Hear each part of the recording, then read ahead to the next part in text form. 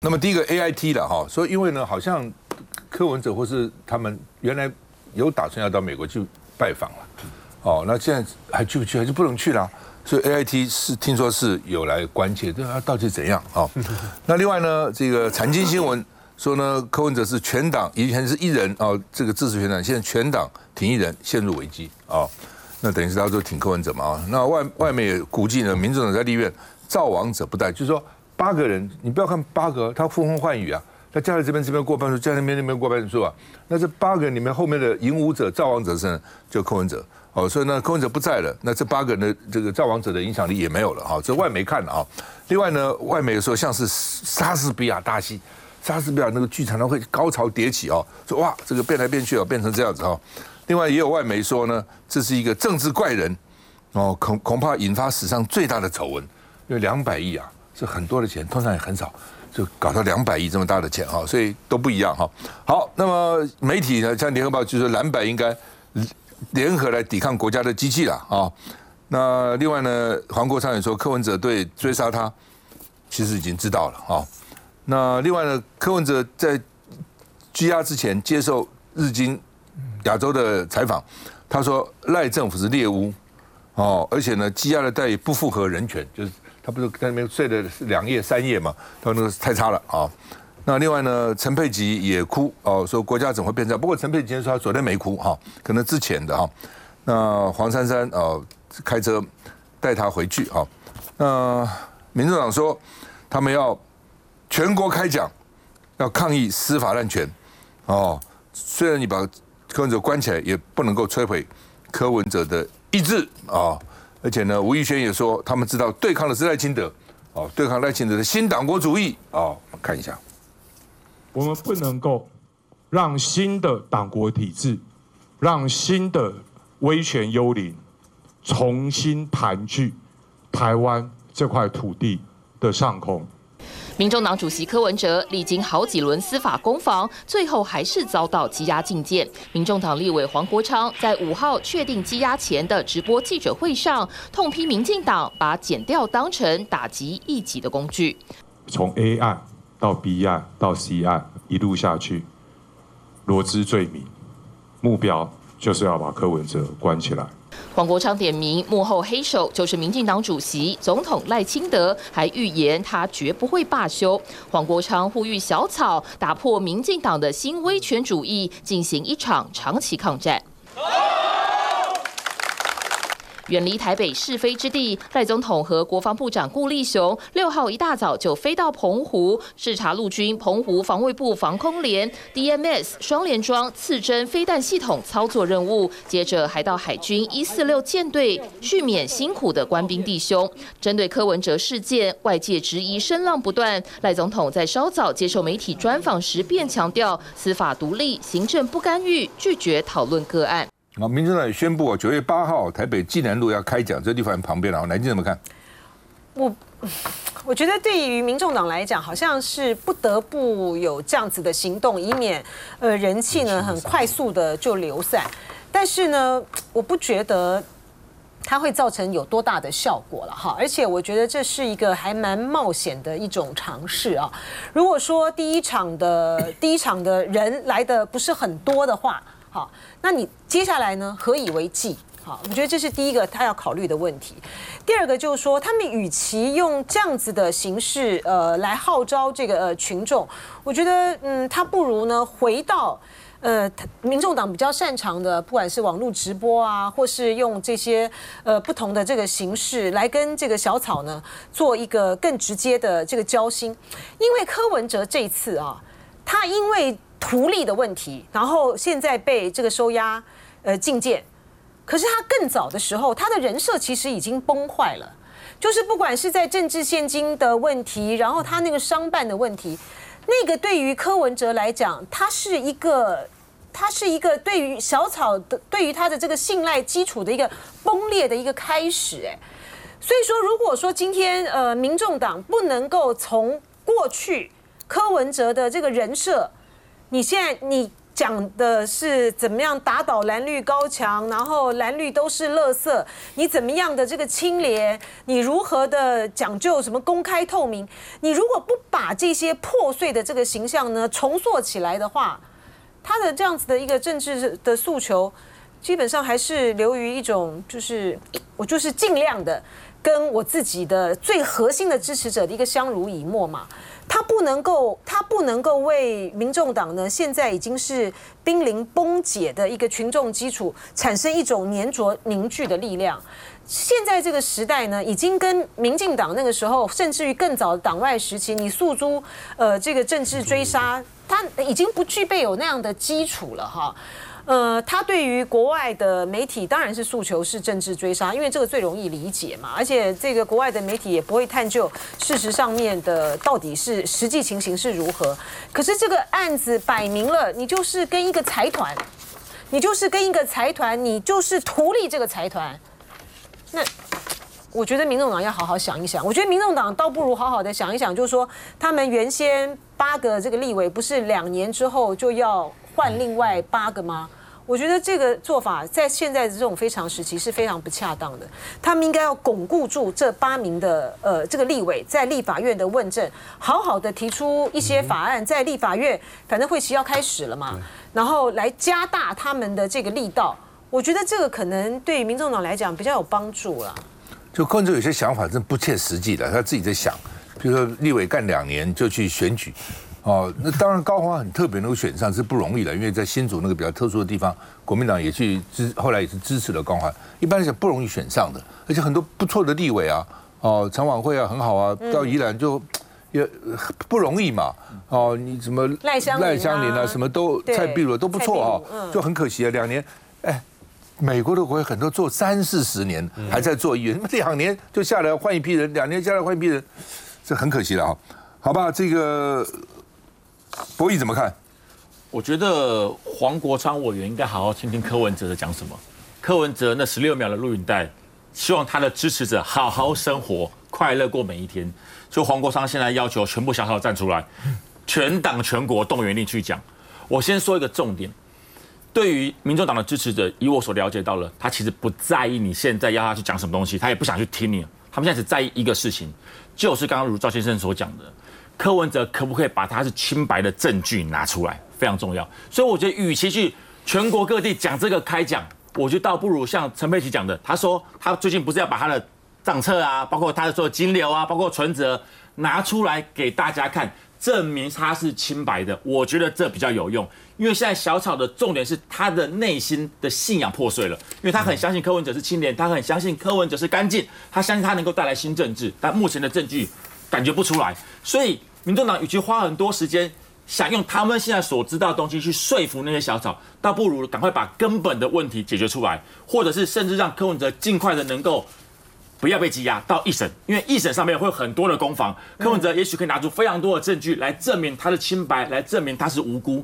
这些想法、这些精神支柱，我觉得才是小草现在所需要看到的东西，而不只是是你要去跟他们讲一些。老实说，他们已经不想去听的。现在小草为什么很多不来？是因为他们觉得对柯文哲的那些想法破碎了。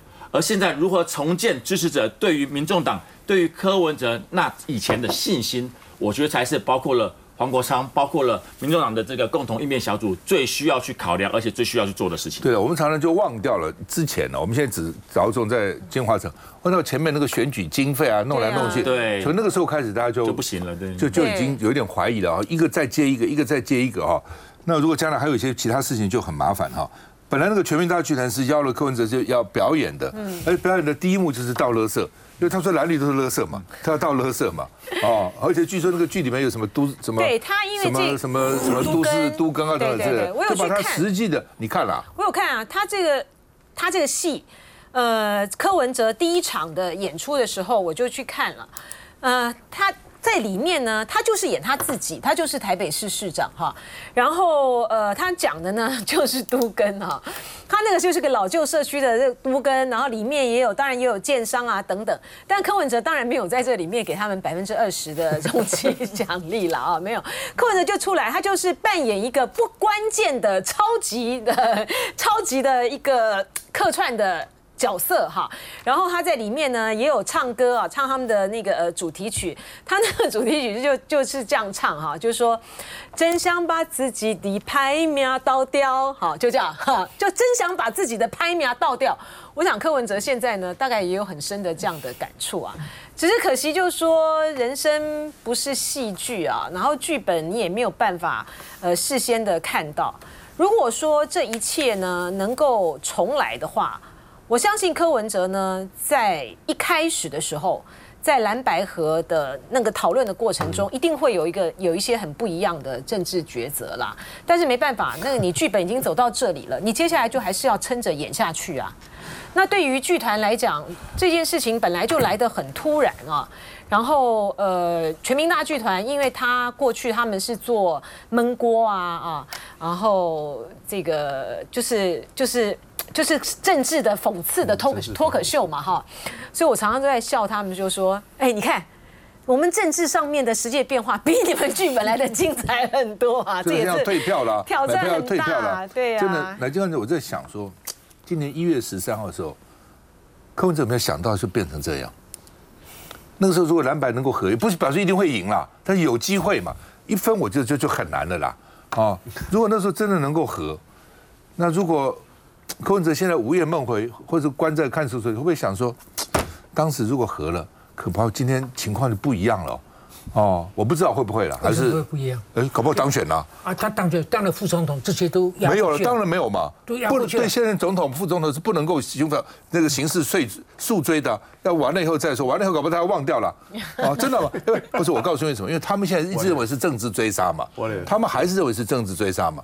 所以你现在是政治追杀，那如果你民进党以前不常想嘛，当选过关，落选被关嘛，他现在就这样想啊。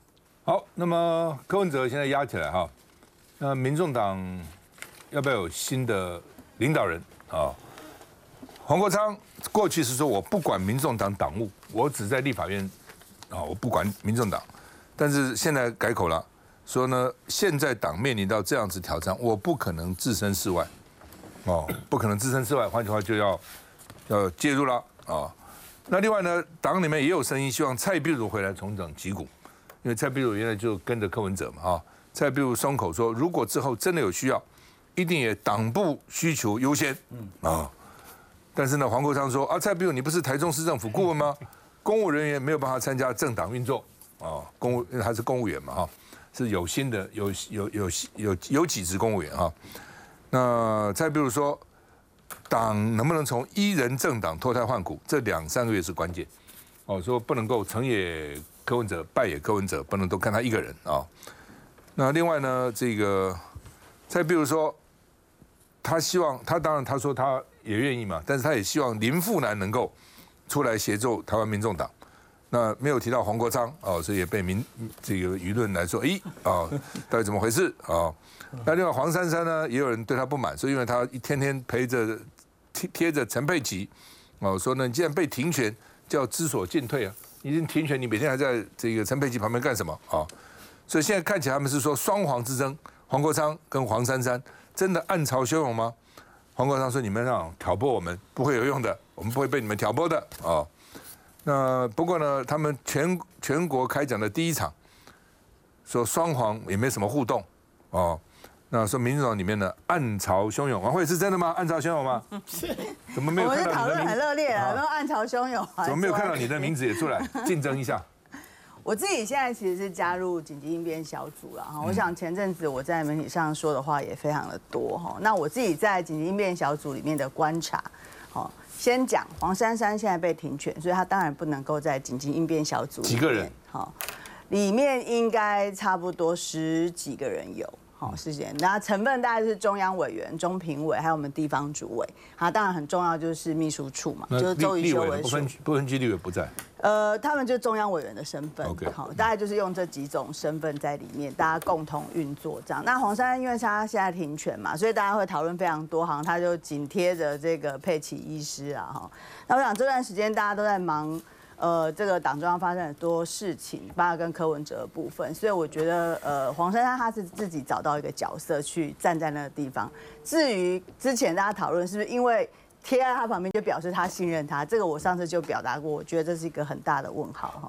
那这段时间我觉得大家很喜欢讨论到底有没有要回党中央啦，有没有谁有没有要选代理党主席？目前看起来就是没有代理党主席这一题，就是用紧急应变小组统一的，大家一起来做一个就是共同决策啦。好，目前的方式是这样。那碧如姐现在确实，因为她就是有一个这个市政府顾问的一个角色这样子。那呃，我想我们的沟通管道还是非常畅通，但是她要。实际加入到这个小组来运作，目前看起来是没有这样的迹象哈，因为他还是要。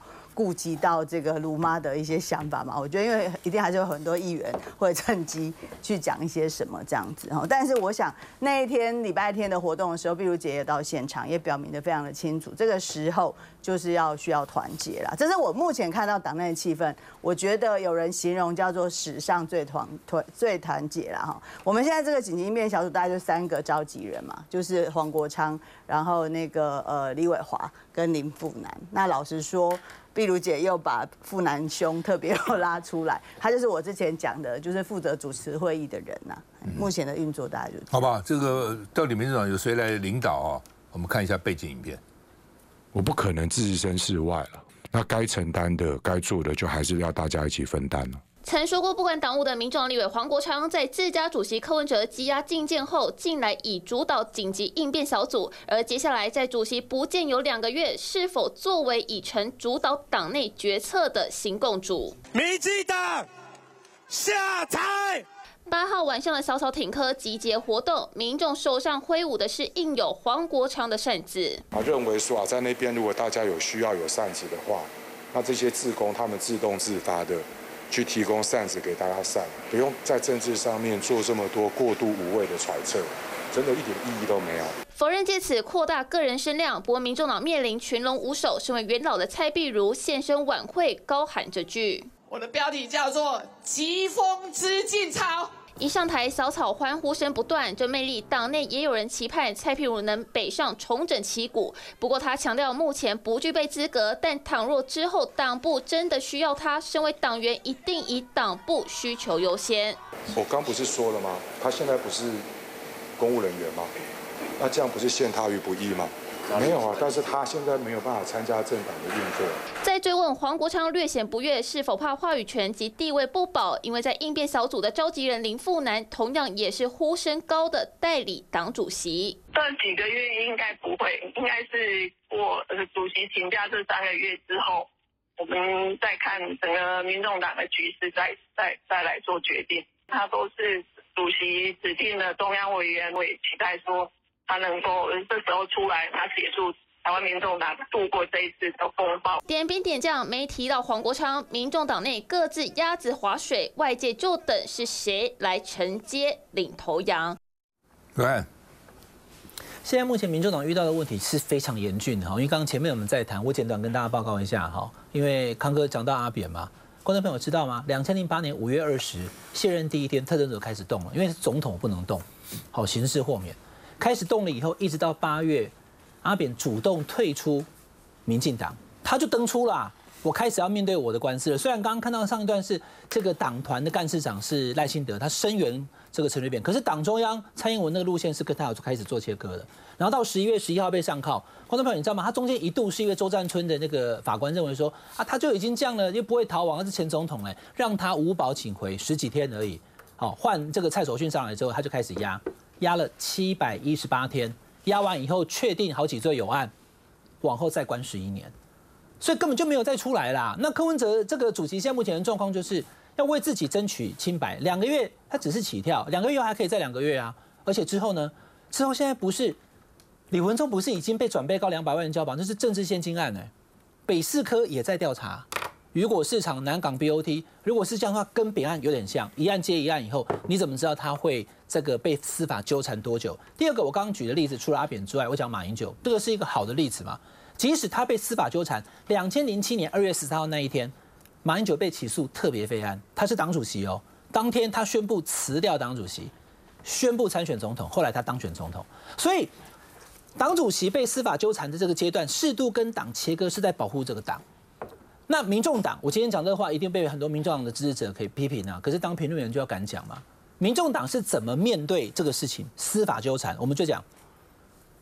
那高虹安被起诉的时候呢，他是辞掉党务的哦。被一审判有罪的时候呢，讲说要不要开除之后，我们再谈。第二个，李文忠跟端木正，因为政治现在没有处理好，中评会就将他们两个给开除。哎，他们现在有罪吗？有被收押吗？没有啊。那李文忠、端木生为什么开除党籍？对党的声誉受影响嘛？好。再讲这个黄珊珊，黄珊是连调查都没有，到现在为止有人讲说怎么都没有约谈黄珊珊，他也停权三年。所以当黄国昌也已经公开在节目上面讲，刚刚在浅秋节目里面讲嘛，他有讲嘛，百分之百他认为会被起诉嘛。所以当柯文哲主席如果啦，对民众来讲不是个好事嘛啊，当柯文哲好被起诉的那一天的时候，要不要做处理？那如果都不处理的话，就是一个绑死柯文哲的民众党。现在目前民众党看起来不知道怎么办。那一天晚会礼拜天，今天礼拜二了嘛，前天晚上在那个。其实还蛮明显的哈，就好像变成周瑜修跟蔡壁如两个一起登台，好，那馆长跟黄国昌两个人是麻吉麻吉，那黄珊珊她跟陈佩琪是很好，你这怎么分那么多路呢？那你去讲说蔡壁如什么？陈佩琪上台是美兰姐，是啦，我是说接送的司机就是黄珊珊嘛，每天看到他，而且他跑去他家，为什么还要从后门在那边？为什么我也我也看不懂哎，这这这是是怎么回事？好，那重点这个这个是民众党是我不是民众党员，我只是个评论员，我认为对民众党来讲。好的状态应该是，因为柯文哲现在面对的这些事情，我刚刚已经举好几个例子了嘛，阿扁跟马英九都一样，你要适度的让党跟你做切割，所以蔡壁如讲的是这个，那你就说蔡壁如现在是那个什么顾问不能，他绝对可以不要做台中市政府顾问呐。如果其实我不知道这个事情，我没有我没有办法做印证，或许晚会知道啊。就去年选完之后，就有讲说蔡壁如是不是当个秘书长啦，或者是多当一个副主席，那他就可以回来党务，他就不用去台中市政府。我讲二零二年立立法委员选完之后了。可是也没有，所以就是一个，他是一个没有副主席的政党，所以现在搞了半天，到底谁要领导？好，我结论就是黄国昌领导，因为他是最有实力，而且他是立法院的总召，一定就是黄国昌。只是其他人要不要服他，就这个就这么。老陈哈，为什么哈？陈水扁都是案子，红三军动员是反陈水扁，对不对？然后陈水扁被起诉，真的，民进党也没有上街头，并没有哦。马英九不管怎么样被被起诉，也没有看到国民党员出来。出来反对，为什么哇小草？为什么民主党一两万人上人不少？为什么这样子？不，民主党跟其他两个蓝绿两个大党你们，完全不一样啊！为什么差这么多？因为他们涉案的那个人哈的本身的人设没有全部崩盘到这个程度。我觉得伟汉是一个很精明的评论家，在台湾是首屈一指哦。但是他刚才故意不晓得故意还是怎么样，他把他讲的复杂了。把它讲糊涂了，有这么麻烦吗？有这么复杂吗？我觉得没有，因为毕竟这是一人政党。如果柯文哲没有下令，没有表态，没有人敢动他，你同意不同意？没有人敢动他啊？你觉得柯文哲糊涂到该表态而不会表态吗？不会，到时候呢，根据法律，根据规矩，他已经完了，这不用他表态。但是呢，不需要表态，但是非表态不可的话，他一定表态。那他表态了，自然就有人接班。哦，那现在你看，你看这个黄珊珊已经停权了嘛，轮不到他了。这个蔡壁如，哎，有他的地位哦。你不要看他是一个屏东来的护理长啊，他是柯文哲的奶妈呢，他是创党的第二号人物呢。但是他会做党主席吗？我觉得不会。哦，但是他他其实心里头想不想？我觉得他这个人是有很有分寸，很有进退。但是他拿一个林富南来作伴。表示他寂寞，表示他没有把握。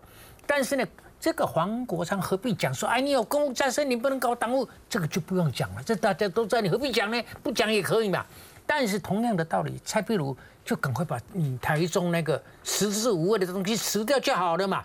你为什么要去那边生根？就是因为原来民众党要派晚会去宜兰，派你去台中，现在这个都没有了嘛。晚会的在宜兰的角色没有了。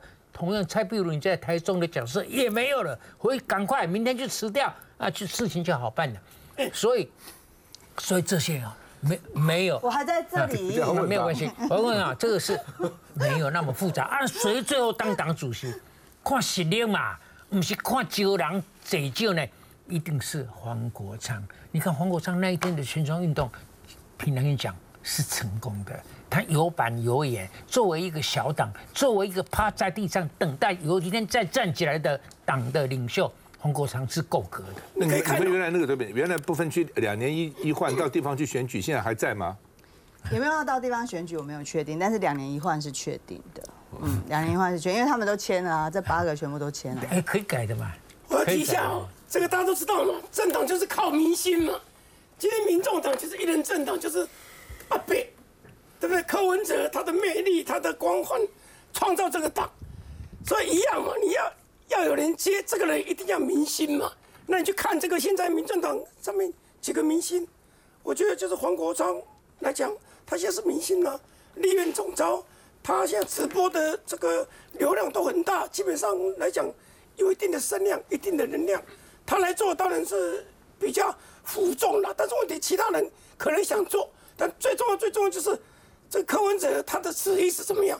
难道就要让他这个应变小组啊那个那个嘞？这不通了。这样子的话，民众党虽然我们我们不能够十几个人不能够来来评论，可是这个对民众党发展一定不好嘛？你一定是。这个柯文哲一定会面对司法会传送一段时间，这个党不能够没有党主席嘛？好歹一个代理主席出来，这个人我觉得黄国昌的分量，他的机机会是比较大的，而且是比较撑得起来的。啊，白姐，昨天第一次提讯柯文哲啊，穿的黄色的衣服，蓝色的裤子，呃，蓝白拖啊，呃，去应讯哈，呃。另外呢，他们想策反沈庆金做污点证人，所以二度提讯啊，二度提讯沈庆金哈。那沈庆因为是老江湖了啊，十几岁开始就在做那个纺织品的 quota 配额啊，一路啊，呃，所以呢，这个这个大风大浪也经过了啊，会不会就被策反？不知道哦，因为本来是这在我们的法律以前送钱的是没有罪的，对，行贿是没有罪的，完全没罪。后来他们说这不行啊，你行贿有罪啊，后来才改成行贿有罪，啊，原来就只有受贿的人有罪，那后来说行贿、受贿都有罪，但是呢，行贿的罪比收贿的小很多，收费不得了啊，这是无期徒刑或十年以上有期徒刑非常重的，那行贿就少很多，所以呢，沈晶晶会不会为了减刑啊，或是为了其他去招啊？我看不容易了哈，因为呢，这样以后他以后。再送钱，没有人要收了，哦，就是说变成一世英名，他的英名，哦，他的在那个圈的名就会了。所以呢，他会不会我不知道啊？我认为，因为我知道有些人也是被大老板被压了以后呢，就是不吐，因为他一吐以后，不知道多少官员要抓起来关，他就是不吐，哦，宁愿自己这个一个人承担。那也有人就吐，哦，这样看起来副市长是想要想要想要咬柯文哲，但是呢。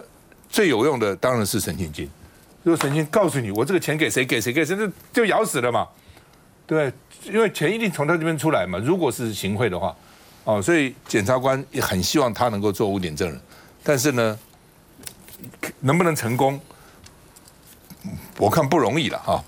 那今天下午又提讯了应小薇，哦，提讯了应小薇啊，因为应小薇问了，您的四千七百段到哪里去了？都你自己吗？都给你男朋友吗？汇个五百万呢？没有给别人吗？哦，还是你去发钱给别人呢？哦，这也是很重要的一个一个讯息。到底他会怎么回答？不知道啊。那这个民进党民进党议员说，金华城的回馈的这个土地呢，应小薇也介入协调，所以看起来他这个介入蛮深的了啊。那另外呢，柯文哲下条子啊，那所以呢，这个因为下条子。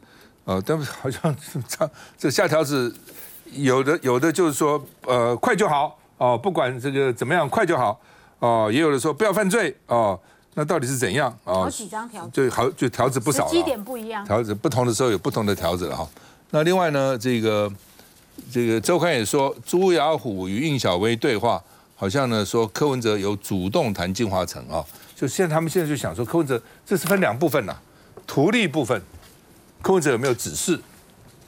哦，还是说这些官员自己去办了？柯文哲没指示，还是柯文哲有指示？哦，柯文哲有指示的，就变成柯文哲要负最大责任嘛？那是不是土地再说了？但这个案子就是柯文哲要负责。如果柯文哲没有指示，又是另当别论。另外就是行贿部分，有没有拿人家的钱？有没有好处？哦，那是另外一部分哦。所以基本上是分这两部分的哈。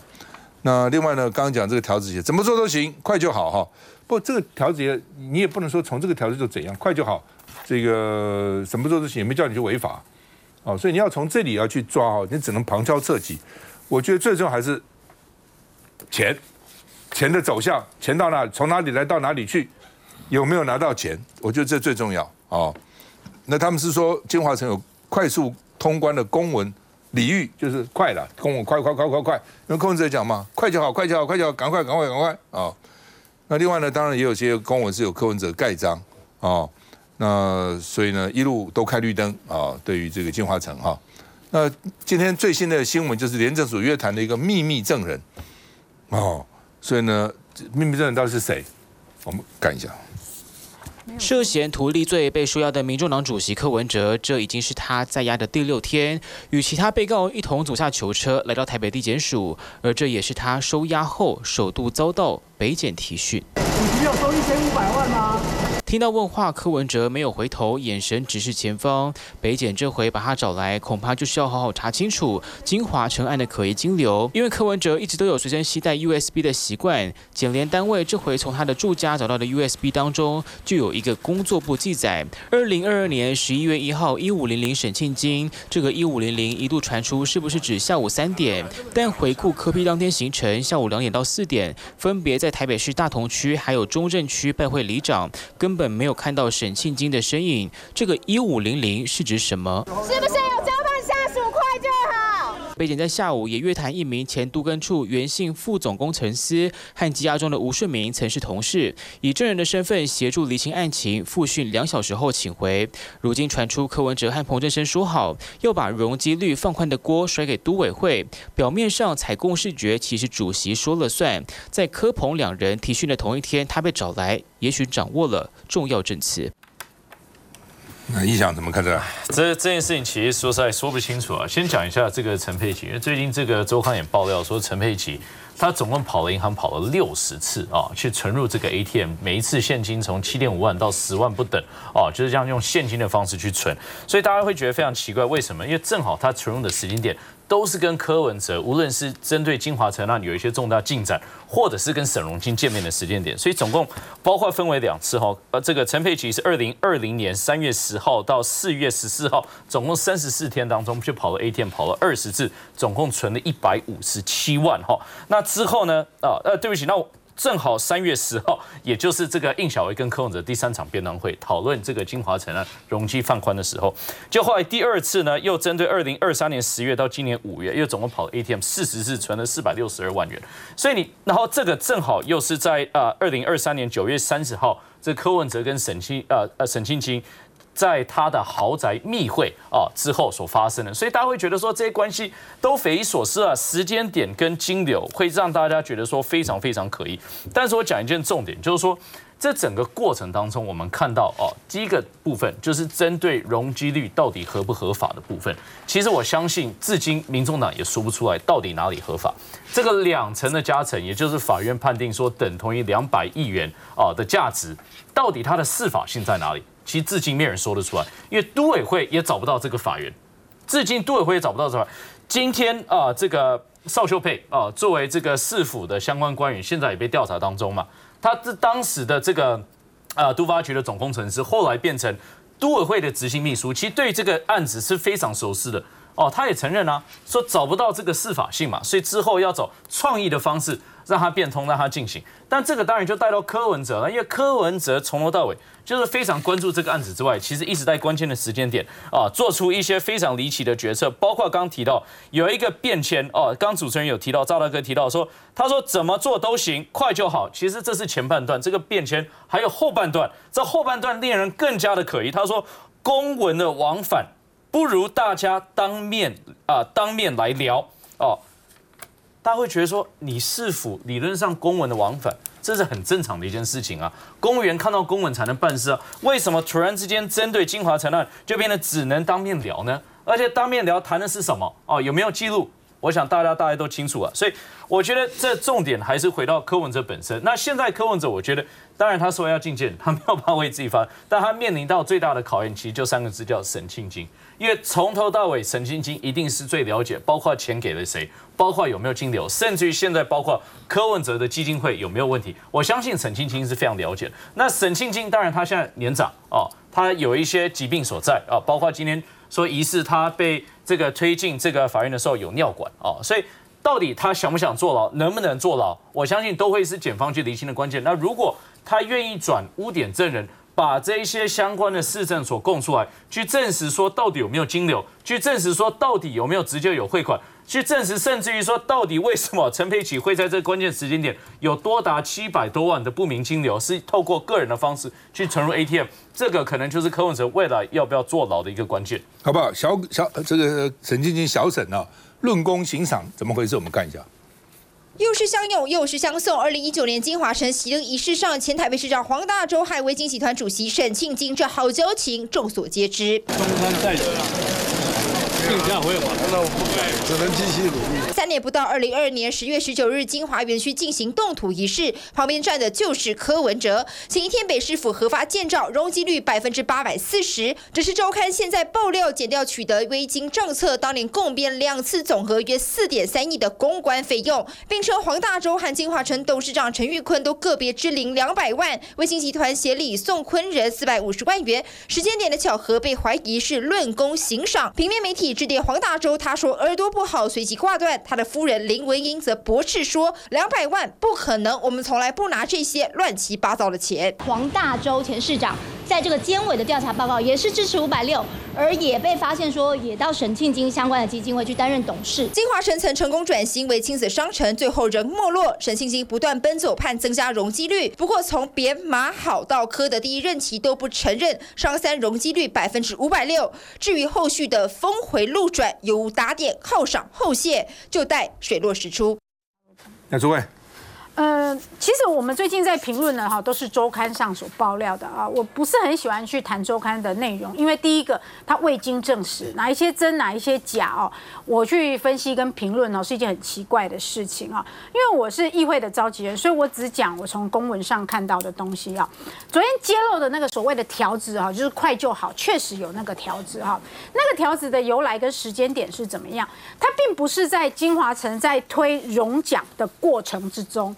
而是已经拿的，已经那个融奖案已经在都委会通过了，哈，整个都市计划书已经通过了。好了，按照那个都市计划书，你要拿到容积奖励，你必须要履行一些承诺嘛。因为当时的都委会委员一直不想给金华城这个案子通过，除了司法性以外，最重要他就说你司法性也不对，你也没有公益性。好了，为了掰出所谓的公益性，金华城就写了说好，我要帮市府啊。铺路，我要认养富生公园，我要给他一个八百平方公尺的空间啊，就是他所谓的公益性。但是我想请问各位啊，你如果要给市府这些东西来交换容积，你是不是要给的是市府要的东西？你要跟市府讨论过哈，我要去你家打扫，你给我五千块，总要你同意吧啊？结果当时因为都发局柯市长交代说要。加速办理，所以他们就没有去问过相关的局处，没有去问过公务局，说公园处、新公处，你要不要金华城帮你做这些事？他帮你做这些事大概需要多少钱？好，也没有去问过产发局，说你要不要这个八百平方公尺的这个空间哈，当你的这个清创啊或是什么的空间都没有去问过，就一厢情愿的接受了金华城提的那一个所谓的对价关系哈，承诺履行承诺，结果等这个计划通过都委会以后，金华城要实际去拿到荣奖了，他就必须要捐出那一个。八百平方公尺的空间，也市政府也必须要有人接受嘛，要双方签下协议书。但是我们产发局不要那个空间，我们产发局已经有很多这种清创基地了，他不要那个空间，他觉得那个基地又不够大，然后又地点又不好，而且他们已经有很多空，说他不要。所以当时都发局、产发局跟业者之间三方往来公文两个月，就是我就不要，你不能硬给我嘛，哈。但是金华城就硬要给啊，要不然我拿不到那个容积奖励啊，我没有办法履行承诺，所以柯市长就下那个条子给产发局说快就好，你们当面谈啊。那事实上，当然之前一看到那条子，一定觉得很奇怪，容积奖励跟产发局有什么关系？就是因为这样。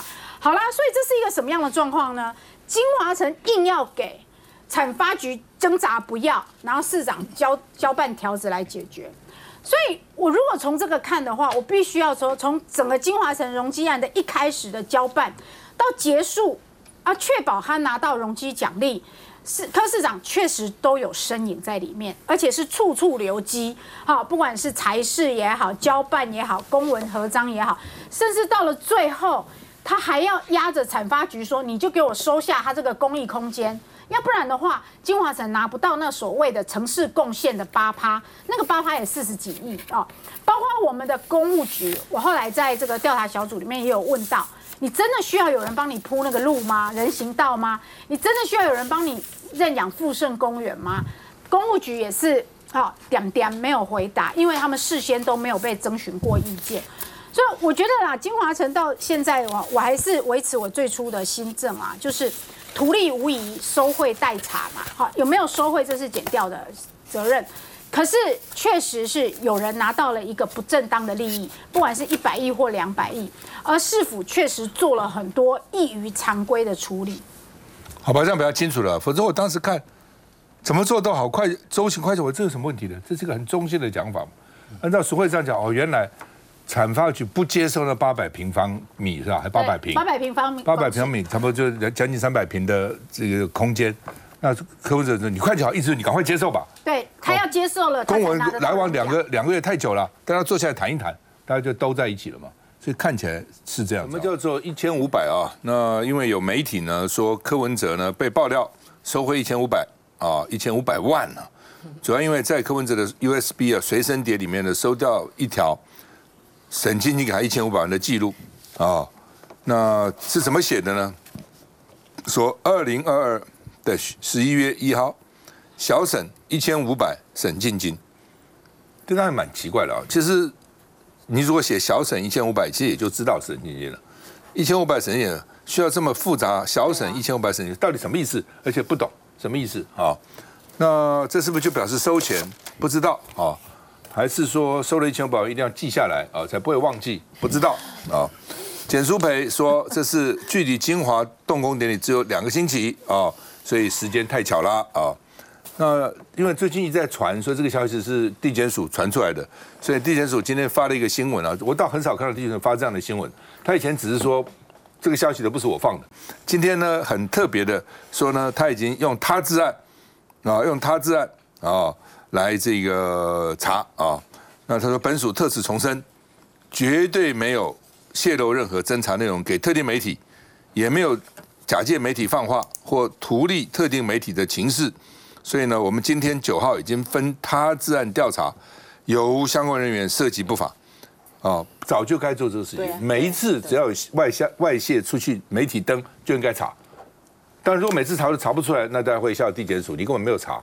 所以，我们先看他查的结果怎样啊？看结有没有结果啊？你本来就该查嘛，因为这影响到你的名誉啊，你每次都不在乎，真奇怪了。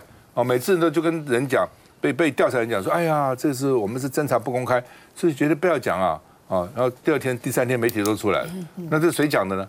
哦，不很奇怪吗？然后，然后地检署这不是我讲的，那去查查是谁讲的？有那么困难查吗？你们地检署不是专干这个事吗？去查人家吗？好，一五小省一五零零省进，还不是省一五零小省一五零省进金，什么意思？啊，郭镇长说是有点故意的，他有可能是下午三点呐，不知道，三点要见面了，小沈要来，觉还比较合理。小沈要来这个约约约会要见面了，有时候会就说台北地检署天下第一检变成天下第一大嘴巴啊，很多事情喜欢去讲啊。那黄耀明说这是三立记者说溜嘴的了哦，这记者怎么讲很有意思啊？记者说哈，百分之两，这个我有百分之两百的可信度，因为这一条剪掉的线，他已经经营至少有七年，有这个线不是说他这个消息有七年，这条线他经营七年了哦，检这个就这个这个跟检察官啊或者里面的什么检察事务官啊有七年哈，所以呢，这个人告诉他这个消息后，他有去跟不同人进行查核。哦，所以呢，他的意思说呢，这个查到了，他觉得百分之两百可可信嘛？他认为，哦，所以那地检署现在他是要查，第一个把三立记者找去问啊，对，你这七年的线是谁啊？不讲得很清楚吗？然后从这个线去查嘛，而且他就害到了他那七年的线哦，而且而且消息不一定是三立，搞其他媒体也有啊。都能查一查啊！而且那整天放话的周刊还没有，还没有。黄国昌说有人违法，减掉一人沉睡，就是都不去查吗？啊，不去查啊！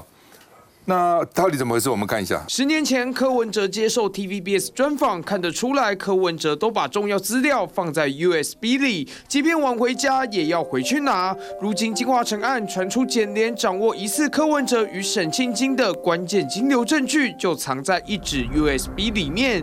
难怪柯文哲无保请回，隔天耿耿于怀。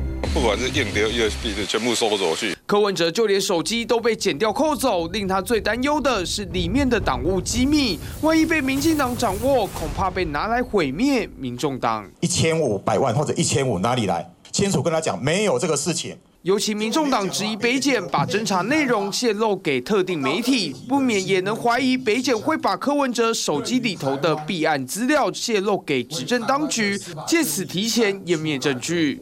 而柯文哲仍在看守所的第四天，前总统陈水扁晒出和他羁押前的合照，连书写下医师照顾受刑人同为天涯沦落人，言下是否抗议司法不公、替柯送暖，背后含义耐人寻味。好，这边的意思是说，柯文哲自己很重视的 USB，所以重要的事情就这都记在里面，然后又传出来他 USB 有一个小沈一剑五沈庆金，永平什么意思？我昨天在战情室，我也坐在这个位置，其实我就讲，我第一时间看到这新闻的时候，我的第一个反应就是时间，因为我印象很深刻，就是在我进到市政府工作之前呢，我只要写到时间，我一定会打冒号。可是进到市政府之后，我就完全被同化了，因为那个冒号就自动删去了。因为所有的人给我任何的文件都是一五零零、一六零零、一二零零、一一零零，然后等到我离开市政府的时候，我又回到我原来打冒号的习惯了。所以我意思就是说，如果你真要讲市政府大家共同沟通的方式，那我就必须说，那个时间的机会真的比较大。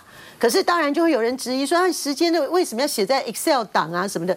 刚才父亲就讲了嘛，你漏消息，你就只漏那一条。你也没有前后文，也没有上下语，那你漏这种消息，这什么意思呢？那你出来这样误导别人，要做什么呢？我们是一直等到他起诉了，起诉书里面，我们才知道说，哦，原来他家他岳父家什么，竟然有去搜索，然后得到了多少什么现金什么什么，我们才了解这些情况，是从正式的起诉的公文书。可是你杨文科，人家还现任，还正在新竹县做。县长，哎，你这样羞辱他什么意思？你上午去搜索，下午照片就出来，对不对？那你对柯文哲也一样啊。你根本都还没有找到金流的证据，到处就就放话说找到找到，然后今天还要用绿媒出来讲说用王牌检察官进来查金流，那这真的不是此地无银三百两自打嘴巴吗？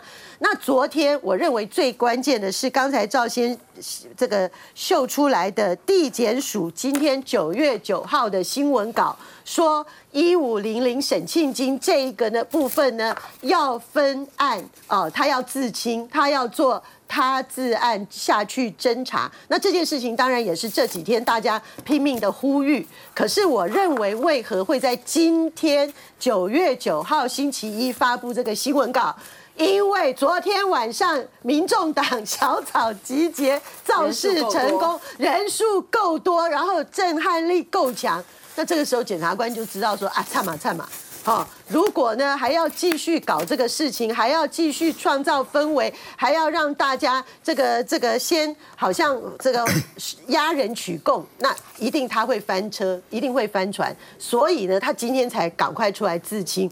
可是我必须说，呃呃，柯文哲的案子也好，杨文科的例子也好，你检查。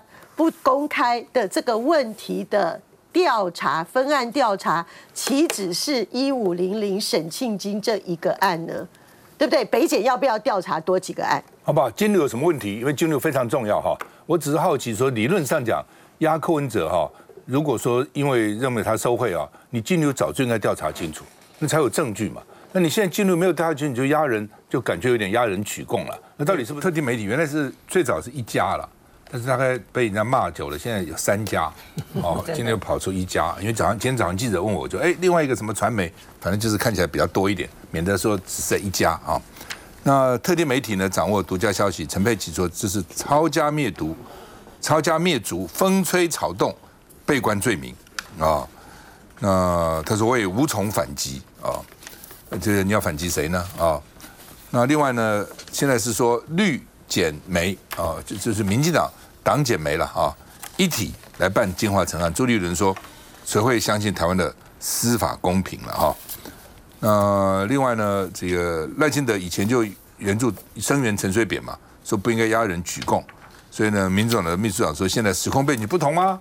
哦，此一时也彼一时也吗？当时可以声援，现在不能声援吗？NC 现在收到十三件申诉了啊，那时间十三件里面呢，这个柯文哲的这个小省的一千五百相关就有十一件，三例里面就占了十件，静电是有一件。那 NC 说会会按照程序查证哦，那到时候有问题可以罚二十到两百万。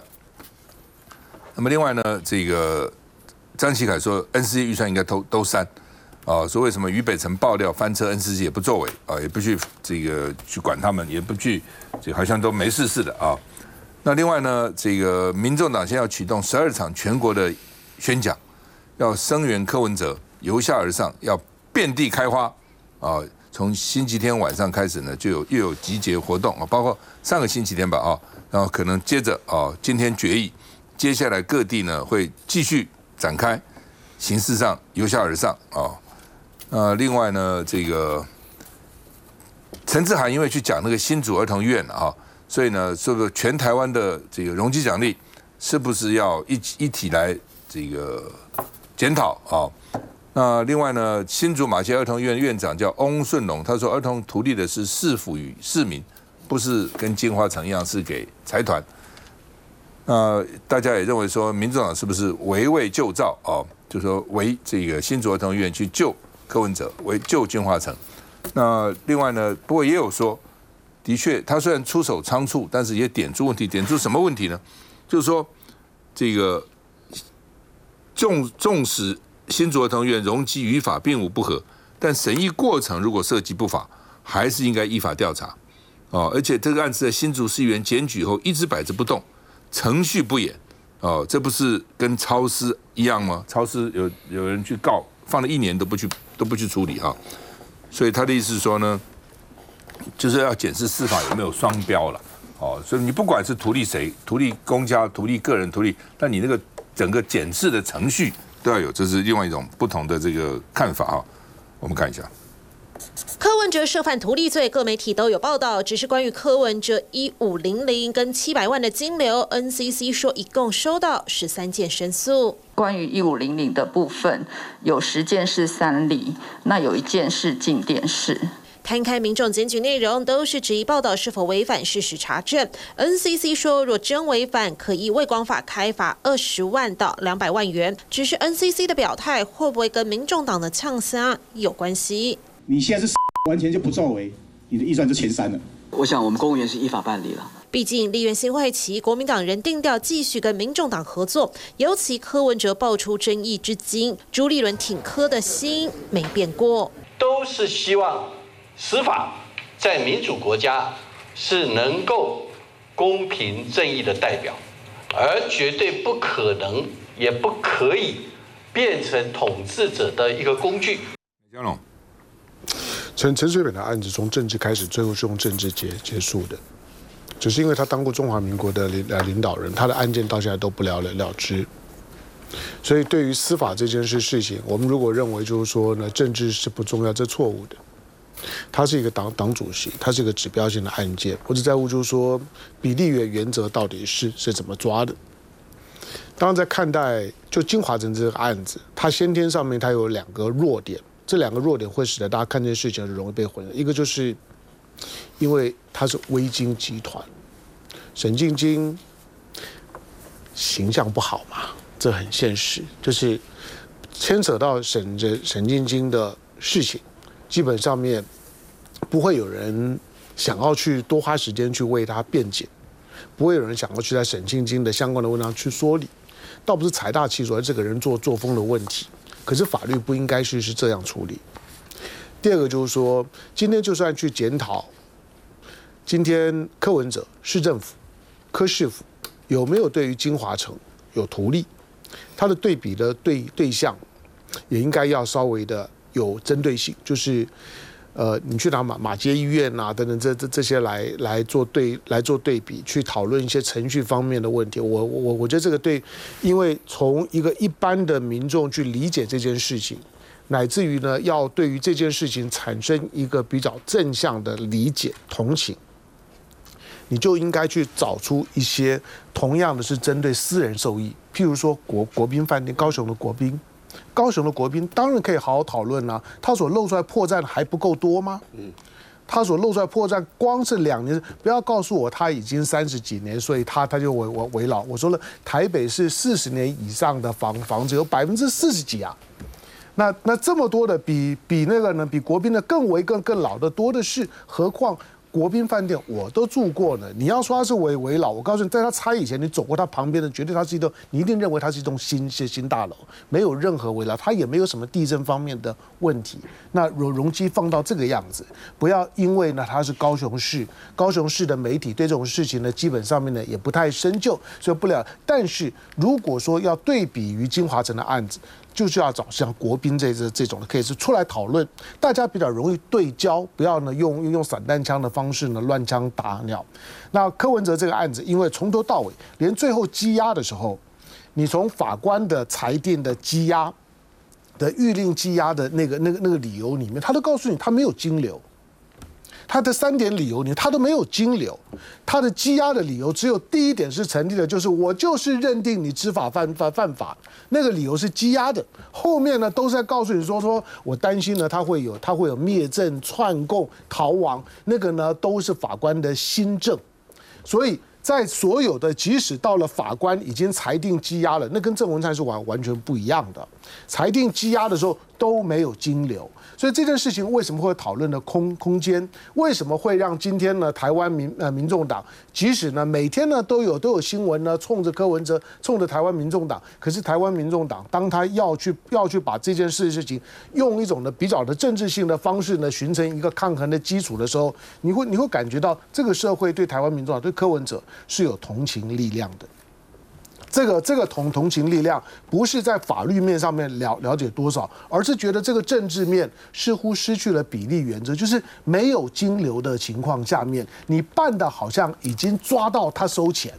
这个呢，大大家在理解上面呢就有就有困难了。所以从上个上个礼拜，你看到小小小草，因为对民众党来讲，我也能能能理解。虽然我不鼓励呢这种方式，可是呢，当今天大家对司法不信任，司法不信任，同时当柯文哲案子在办的时候，我看到那个大法官的名名单，鬼会相相相信你司法？你看到那个大法官的名单，根本就是就是在玩弄、玷污呢任何对司法有一些起码敬意的人。因此，今天不要去讨论，就是说呢，我们要要尊重尊重司法，我们要尊尊尊重呢，就是说呢，这个检检察官的这种办案，不要来来来这一套。只要是呢众所瞩目的案件，它是一定要接受检视，在任何一个民主开放的社会体系里面都一样。这个案子里面，它当然有公关的成的成分，它当然有媒体操作的成分。某种程度上面，你说呢？有一些记者很努力，所以呢，他总是能够打听到一些消消息。我在新闻工作，我们新闻工作久了之后，我们知道了，记者努努努不努力，当然是有差别的。可是，你如果骗我们说我们看不出来那个是放话，那你也真的太太低估我们，那就是放话放出来的。所以跟什么七年养了七年的线无关，对不对？我要放给你就有，我不放给你，你养十七年也没用。